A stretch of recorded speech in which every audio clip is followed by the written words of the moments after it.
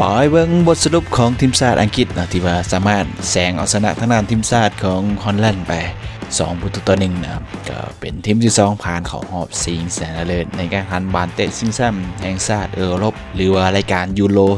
2024ก็ที่ว่าได้มาแล้วนะ2ทีมคู่ชิงชนะเลิศนะก็จะเป็นทางด้านทีมชาติอังกฤษพบกับทีมชาติสเปนนะซึ่งวันนี้เราจะไปเบิ่งบทสรุปย่อๆไปเบิ่งสถิติการแข่งขันนะในการไปเบิ่ง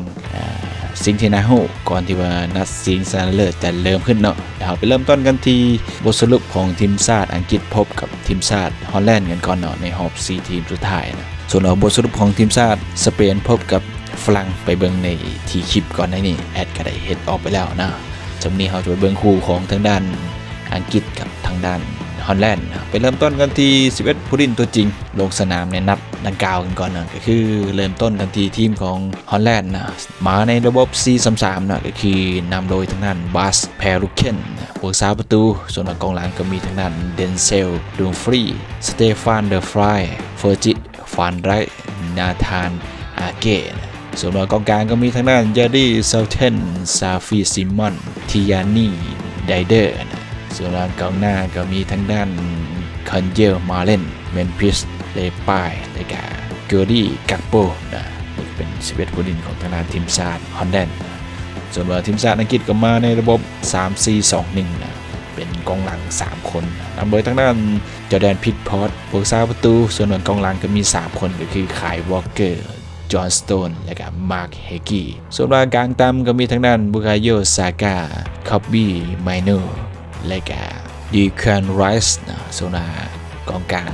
ตัวบุกก็มีทางด้านดีแคนทิเปียพิวเพลเดน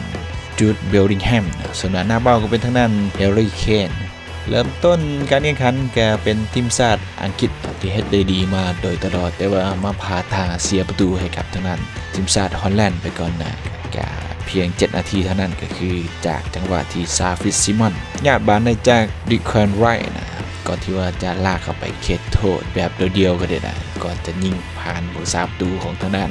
อังกฤษเข้าประตูไปแต่ทีมชาติฮอลแลนก็นำไปก่อน1ประตูต่อศูนย์จากนั้นทีมชาติอังกฤษก็เริ่มบุกอย่างต่อเนื่องนะจนมาถึงนาทีที่ 16 เป็นทางด้านเฮลเคนนะได้บาในเขตโทษก่อนที่จะถึงทางด้านเดนเซลโดรฟี่นะแง่ตีนเข้าไปบอกเหตุให้ล้มลงในเขตโทษก่อนที่ว่ากรรมการจะไปเบิง VAR นะ ให้จุดโทษทีมชาติอังกฤษก็เป็นทางด้านเฮริเคนยิงเข้าไปช่วยให้กับทีมชาติอังกฤษตีเสมอเป็น 1-1นะส่วนระยะเวลาที่เหลือในเคิงบรรทมิตรบ่มีประตูเกิดขึ้นนะจบกันที่ 1 ประตูต่อ1ส่วนเคิงเวลาที่2นาทีที่ 65นะก็เป็นทีมชาติฮอลแลนด์ได้รุ่นประตูนะจากจังหวะที่ทางด้านโจอี้เฟียแมนเปิดพีคิกเข้าไปในเขตโทษเป็นทางด้านฟิจิฟันไรส์นะยิงตามน้ำนะ แต่ว่ายังบ่ผ่านมือของทางด้านจอร์แดนพิกพอสนะล้มตัวปัดบานออกหลังไปนะแล้วก็จนมาถึงนาทีที่ 81นะทางทีมชาติอังกฤษก็เปลี่ยนตัวทางด้านโอลี่วัสกินนะลงแทนทางด้านเฮลิเคนนะก็เป็นจุดเด็ดเลยล่ะตัวนี้นะจังเกมทำทาว่าจะเสมอกันก่อนที่นาทีที่ 90 บวก1นะเป็นทางด้านโคพาเมอร์จ่ายวานทะลุซ่องให้กับทางด้านโอลี่วัสกิน ยิงในเขตโทษฝั่งขวา บานผ่านบกซาประตูของทางด้านฮอลแลนด์เข้าประตูไปนะเหตุใดทางด้านโอลี่วัสกินยิงประตูทวิตในบาเตยูโร2ต่อ4นะและก็เป็นประตูสำคัญเลยแหละกลายเป็นฮีโร่ของทีมชาติอังกฤษนะพาทีมแซงชนะฮอลแลนด์ไป 2-1 ผ่านเข้ารอบชิงชนะเลิศบาเตยูโร 2024และก็เป็นการผ่านเข้ารอบชิงชนะเลิศเป็น 2 ปีติดต่อกันต่อจากปี 2020นะก็เป็นการรุ่นแซมสมัยทมิตเนาะเพราะว่าปี 2020ก็เสียให้กับทางอิตาลีไปนะ ได้ห้องแซมสำหรับทีมชาติอังกฤษนะบทสรุปย่อของอังกฤษกันแน่นาะก็คืออังกฤษนี่มันทีมที่ว่าทึกนำไปก่อน แต่สามารถพลิกอาชนะได้นะก็ถือว่าเป็นครั้งที่ 3 ติดต่อกันแล้วในบานเตะยูโร2024รอบน็อกเอาท์เพราะว่าก่อนหน้านี้ก็สามารถแซงชนะสโลวาเกียไป 2-1นะหลังจากที่ว่าถึกนำไปก่อนนะแต่ต่อมาก็รอบ8ทีมเนาะก็สามารถแซงเอาชนะชนะสวิตเซอร์แลนด์ไปเนาะหลังจากที่ถึกนำไปก่อนเนาะแต่ก็จนล่าสุดนัดนี้ ในรอบ4ทีมสุดท้ายก็ถึกนำไปก่อนเนาะในนาทีที่7จากซิมอนยิงให้กับฮอลแลนด์ไปก่อนที่ว่าจะแซงชนะได้นะอันนี้ก็เป็นสถิติของทางด้านทีมชาติอังกฤษ ส่วนนักเตะที่น่าจับตาก็เป็นทางด้านแฮร์รี่เคนนะยิงประตูในรายการนี้ไปแล้ว 6 ประตูเนาะในยูโรนะรอบน็อกเอาท์เป็นสถิติที่ดีสุดในการแข่งขันของทีมชาติอังกฤษในรายการนี้นะส่วนอีกหนึ่งสถิติที่น่าสนใจก็คือทางด้านแกเร็ธเซาธ์เกต กลายเป็นผู้จัดการทีมของทีมชาติอังกฤษที่ว่าสร้างสถิติได้หลายอย่างเลยแหละก็คือ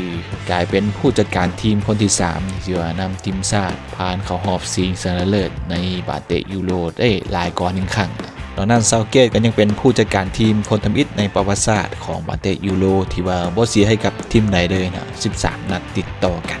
บ่นับรวมระยะที่ว่าโดนจุดโทษ และก็ซาวเกตก็ยังพาทีมผ่านเข้ารอบชิงชนเลิศได้ 2 ครั้งติดต่อกันจากทั้งหมด 4 ครั้งนะซึ่งนี่ก็เป็นบทสรุปย่อของทีมชาติอังกฤษที่ว่าเอาชนะทางด้านทีมชาติฮอลแลนด์ไป 2 ประตูต่อ1นะเดี๋ยวเราจะไปลุ้นกันต่อในนัดซิงชนเลิศนะก็คือจะแข่งขันในวันที่14กรกฎาคม2ต่อ4เวลา2โมง00อยู่ที่สนามโอลิมเปียสตาดิโอนนะอยู่ที่นครหลวงเบอร์ลินประเทศเยอรมัน ซึ่งจะเป็นการพบกันระหว่างทีมชาติอังกฤษพบกับทีมชาติสเปนนะ เดี๋ยวเราจะไปเบิ่งผลงานย่อของทั้ง 2 ทีมกันก่อนนะเริ่มต้นกันที่ทีมสเปนนะก็คือในหอบแบ่งกลุ่มชนะ3นัดรวดมี 9 คะแนนผ่านหอบ16ทีมเอาชนะเจ้าเตี้ยไป 4-1หอบ 8 ทีมชนะเจ้าภาพเยอรมันไป 2-1หอบ 4 ทีมแซงชนะฝรั่งไป 2-1 ก็คือจาก 6 นัดยิงไป 12 ประตูเสียเพียง 3 ประตูนักเตะที่ว่ายิงประตูได้หลายที่สุดก็เป็นทางด้านดานี่โอโมยิงไป 3 ประตูน้ำดาวยิงสุดสุดห่วมเนาะส่วนว่า คนต่อมาก็เป็นพาเวียนรุยส์ยิงได้ 2 ประตู ส่วนวันนักเตะที่ยิงได้ 1 ประตูก็มีทางด้านดานี่คาวาคาวโดรี่เพอร์นันโดตอเลสอันบาโลโมนาตานิโคเวนเดียม ลามิน ยามัน ส่วนว่าทีมชาติอังกฤษก็ลงสนามในหอบแบ่งกลุ่มกะชนะ1นัด เสมอ 2 นัด มี 5 คะแนนผ่านเขาหอบในฐานะแซมกลุ่มหอบ16ทีมก็เอาชนะสโลวาเกียไป 2-1หอบ 8 ชนะสวิตเซอร์แลนด์ไป 5-3 แล้วก็หอบ4ทีมสุดท้ายแซงเอาชนะทางด้านฮอลแลนด์ไป2-1 จาก 6 นัด ยิงได้ 7 ประตู และก็เสีย4ประตู ส่วนนักเตะที่ยิงประตูได้หลายที่สุดก็เป็นทางด้านแฮร์รี่เคน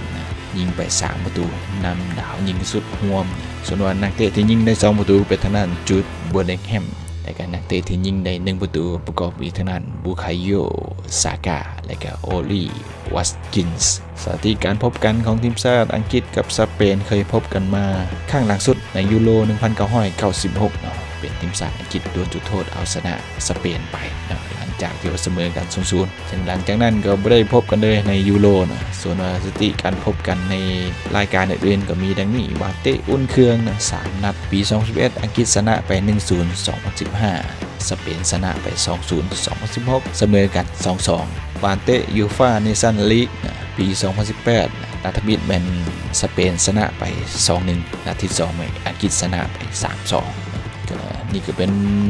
การรีวิวย่อๆเนาะนัดชิงชนะเลิศนะจังว่าจะมีรายละเอียดการอัปเดตอย่างตื่มอาจจะมีการทยอยอัปเดตให้ตื่มในเพจกันกันมื่อนี้เอาย่อๆกันก่อนนะหอมปากหอมคอกันเนาะเดี๋ยวมื่อหน้าเรามาเบิ่งกันต่อมาเบิ่งสถานการณ์ก่อนนัดซิงชนะเลิศทีมชาติอังกฤษพบกับทีมชาติสเปนใน เวลา2โมง0ของวันอาทิตย์วันที่ 14 กรกฎาคม 2024